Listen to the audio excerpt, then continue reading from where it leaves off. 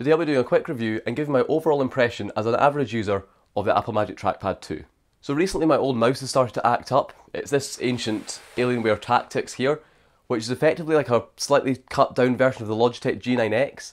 I actually won this thing years ago in a YouTube competition of all things run by Ashens, so yeah, it's definitely a bit old. And yeah, the scroll wheel's starting to act up a little bit. It doesn't always scroll when you click it, and it's just getting a bit tired, so I kind of need to replace it. So I plan on just getting a new mouse. However, after using the MacBook quite a lot, I've become quite accustomed to the touchpad gestures for things like swiping between desktops, opening up the window overview thing that I can never remember what it's called, um, scrolling, zooming, all that sort of stuff. And I found that when I was using this old mouse, I was missing out on that. I wasn't, didn't have those gestures, and I kept leaning over to the laptop and using the touchpad on it to do gestures. So when I came to getting a new input device, I was like, well, I'll see what the Apple ones are. So I had the decision between the Magic Mouse or the Magic Trackpad. So I ruled out the Magic Mouse because I kind of want to charge it when I'm using it. Yeah, they still haven't fixed that. So went for the Magic Trackpad. So I planned on getting a new one, but the prices were ridiculous. So it starts at 130 quid, which is a lot, but it's Apple, so whatever, that you sort of have to expect that. But the reason I say starts at 130 quid is because that's for the white one. If you want the space grey one, so it would match my machine, it's 149 quid. So it's 20 quid more just to get a different colour. And I was like, no, I'm not paying more for a nicer colour. So I took a look on eBay and they were a bit cheaper because you get used ones. So a white one was about 75 quid on eBay used, but even then, the space grey one was about 100 quid used. So even on eBay, for the used ones, the space grey was still more expensive. So I eventually resigned myself just to getting a white one. So I took a look on CEX just to see what the price was, especially since I could go and pick it up that day and I kind of wanted to play with it. And they had a white one listed for 72 quid, so I thought, that's a pretty good deal, it's cheaper than eBay. So I went along to pick it up. And while I was in the shop, they actually had two on the shelf. They had a white one, and they had a space grey one, both for 72 quid. So I thought, right, they're charging the same price for space grey, I'll get a space grey one. So here it is. So yep, I got this used, but it's basically mint condition as far as I can tell, and I paid 72 quid for it, which is still quite a lot for a trackpad, but it's a lot cheaper than the new price. So what we'll do is we'll do an unboxing, take a look at it, I'll get it connected up and try it out. I'll then go away and use it for a while and come back with my impressions. Because I've never really used a trackpad on the desktop. I mean, obviously I've used a laptop plugged into a monitor and used a trackpad on that, but I've never really used a trackpad in place of a mouse. I've always just used a mouse. If I've, if I've got my laptop connected up to monitors, keyboard and mouse at my desk, I'll always just use a mouse. I've never thought to use a trackpad. So it'll be really interesting to see how I find this. I've seen the track Magic Trackpads before, but I've never really used one myself, so it'll be quite cool to see what my impressions are. So here's the device. It's, it came in the original box, so it was actually listed in CEX as grade A or whatever because it was fully boxed. So if we take it out and see what we get. And this must be quite new because the Space Grey was only introduced fairly recently. It was introduced this year. And on the back as well, I think it lists the copyright date as being year 2018. So it is actually a fairly new device. So I don't know if it's maybe someone just bought it and didn't like it and then sold it at a massive loss or something. That's all I could really guess. So here it is here, typical Apple thing with a wee lifts the up bit. So there's trackpad we'll take a look at later. Then all we get is some bits of paperwork, which I do not need to read, probably, and a lightning cable. So they've used lightning rather than like USB-C or something, but I mean, I suppose that vaguely makes sense because if you're an Apple user and you're you know more of an Apple user than me and you've got an iPhone as well, you'll probably already have a lightning cable sitting on your desk for your phone. So it kind of makes sense to use the lightning on it. For me, it's not as convenient because I don't have an iPhone, so I will have to use this cable separately for it. But I suppose for the average sort of hardcore Apple user, this does make sense. And it is black, which is nice. I don't know if that's maybe an aftermarket cable, although I'm guessing it's maybe because it's a space grey touchpad, it comes with the black cable. wonder if that's what makes the 20 quid difference. I don't know. So yeah, that's the cable you get there. So now if we take a look at the trackpad itself, it's in the original sort of wrap. It has been used, but I think it's been sealed up again. Although actually interestingly on the back, there's like cutouts in the plastic for the lightning connector and the switch. So I don't know what they're expecting people to be, why they're expecting this to be connected while it's sealed. I don't know if it's just for testing or I've got no idea. But anyway, take it out. And there's the device. So it's pretty much mint condition. In fact, it is absolutely mint condition. I I looked at it in the shop and I genuinely cannot see any marks, not apart from like fingerprints. So it is really good condition. So the top of it there is all space grey, as are the sides. It's force touch, so it doesn't actually click down normally. It uses the haptic feedback, so it'll only do that when I switch it on. In fact, if I switch it on there, yep, I can now feel it clicking, so that's quite cool. And then you can see on the back there, you've got the switch, lightning connector, and then this little plastic piece here, which I'm guessing must just be for the antenna. It's not like an indicator or anything, I think it's just for the antenna so it can work through the metal. So yep, that's the device there. Now when I was buying this, I also toyed with the idea of getting the older generation because it was so much cheaper. But in the end, this new model does seem quite a big improvement. So it's a much larger area. You can see in comparison to my hand, it's huge. It's about the same size as the one on the new MacBook Pro. However, the other difference is it's got all the Force Touch stuff, which is good as well. But it's just the way that the mechanism works. So on the this one, you click the touchpad down anywhere and it actually clicks. And this means if you're holding it in your hand, you can still actually click it. It just works like a portable touchpad, really. The old Magic Trackpad didn't do that. Instead, on the old Magic Trackpad, at the front, you had like two little feet, there and there, and those were the actual buttons. So you had to lay it on a table, and when you pushed the touchpad down, those buttons pressed in against the table and it detected a click. The problem with that was that if you weren't using it on a hard surface, so if you weren't using it on a table, you're maybe holding it in your hand or had it on the arm of a couch or potentially even on like a desk that had one of those sort of full desk mouse mats that makes desk surface quite soft, it wouldn't work on those. So this model is a definite improvement from that perspective as well. So now let's get this thing working. So I think you can pair it manually through the Bluetooth settings. However, one of the reviews stated that you can actually pair it by just plugging it in. So I'll try that because that's quite cool.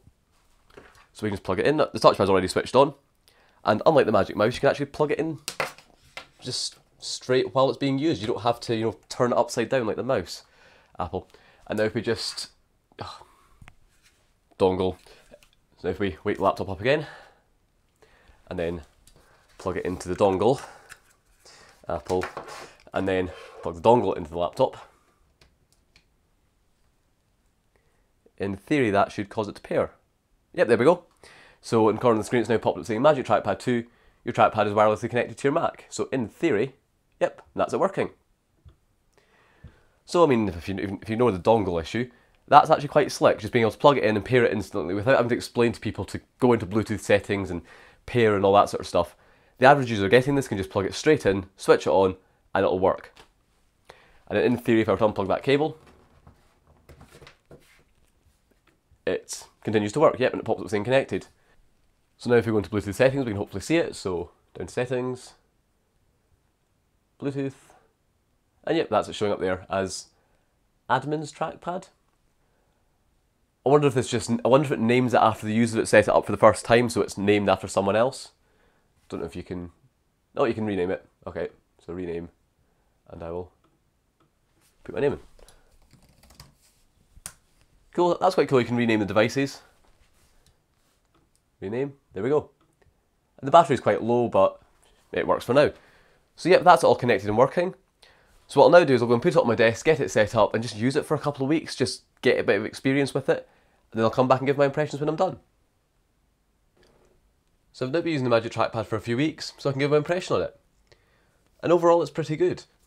Definitely takes a bit of getting used to, there was quite a long period of time of me sort of using it and then my finger thumping off the edge of it when I forgot there was like a actual limit to the edge of it. But now I'm used to it, it works pretty well. And overall for gestures it's absolutely brilliant. So it's things like being able to swipe between desktops or showing mission control or showing Launchpad or going out to the desktop is really good. And also things like scrolling, just it's just really nice because it's the exact same gestures used on the laptop itself and I'm able to bring those gestures to the desktop. I don't really have any major complaints about it. it. The only real one that I can really think of is that it takes a really long time to connect the computer when you switch it on. So when you, you've got it switched off at the back and you turn it on, you could be waiting anywhere for like up until like a minute for it to actually connect to the computer, which is really annoying. However, I've just started leaving it switched on and it actually seems to be fine. It doesn't seem to drain the battery down. And even if I'm using the laptop in a completely different room, it, the laptop will show that it's connected to the trackpad, but the battery still lasts fine. When I got it, it had a pretty low charge, and I've only had to charge it like once, and it, it only died very recently. So it lasts for a very long time on battery, so I'm not really too worried about it. And of course, unlike the Magic Mouse, you can actually charge it when you're using it, so the battery life really isn't a problem at all. It's also been really reliable, there's been no random disconnections or anything I was slightly worried about with Bluetooth devices, so yeah, it actually works really well. The only other really minor complaint, which is just something I didn't really think about, is that the surface can get quite cold. Now that's probably more of an issue here because I'm in Scotland and it is generally quite cold here, and if I've been out at work and I come in and the flat's cold, using the touchpad can almost be like uncomfortably cold to put your finger on. You don't really have that issue with the machine itself because the machine itself gets hot, so the trackpad warms up and it feels fairly not warm but like room temperature. But the trackpad can get a little bit cold, so I mean it's it's a minor issue, but it's just something I noticed. But yeah, it's really good. I've been using it sort of as my daily pointing device, and it works brilliantly. However, I've thrown a slight spanner in the works because on Cyber Monday, Amazon had the Logitech MX Master mouse on sale for 37 quid, which is a massive saving. So I ended up buying one as well. So I use the MX Master at work and I absolutely love it. I've had it for a couple of years now. But since I use my PC at work way more than I use mine at home, it made sense to take it into work and use it there. So I ended up buying a second one for home use. But this now leaves me with a dilemma because I've got the Magic Trackpad and now a really nice mouse. And I kind of like them both, but almost for different things. So I've actually found myself sitting with them both sort of side by side, using the mouse for most of my pointing stuff and then using the trackpad for gestures, which works, it's just a bit weird. I almost find that you have two different sort of moods when I'm using stuff.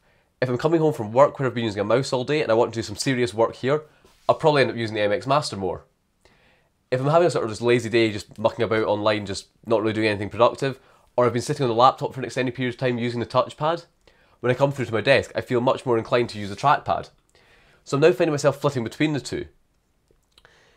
The MX Master also does do a lot of the gestures, so things like switching between desktops, you can sort of hold this little thumb button down and swipe, and it will do them. Same with even Mission Control, you can do that, but it's not nearly as nice as on the trackpad. So at, the, at, this point in time, I'm almost using the trackpad as like a gesture surface or just for lazy playing about. And then I'm using the mouse for more serious pointing use, which is a bit weird, but it sort of does work. So now for a tricky question. If I could only have one of these devices, which one would I keep? It's been quite a hard decision, but I think I would probably rather have just the MX Master rather than just the trackpad. For extended periods of use, it's just a little bit more comfortable and it's really good for precision work However, I think I would really miss the trackpad if I didn't have it. Just being able to use it for things like gestures or scrolling or things like zooming, stuff like that. It's just it's just really nice having it there. So if before buying the Magic Trackpad I'd already had the MX Master, I'd have probably been less inclined to go out and get the Magic Trackpad. However, having the two together does work quite well. What I think I'll just need to do is over time I'll just try using them both together because I've only had the, the MX Master for a few days. I'll just use them both together and see how I get on if I find that I'm never using the trackpad, I could always flog it on eBay and actually get more than I paid for it. But at this point in time, I'm actually finding having both of them side by side to work quite well. So there you go, that was my sort of impressions of the Magic Trackpad as just a general user who's just gone out and bought one and tried it out for fairly day-to-day -day average tasks. So yeah, thank you very much for watching.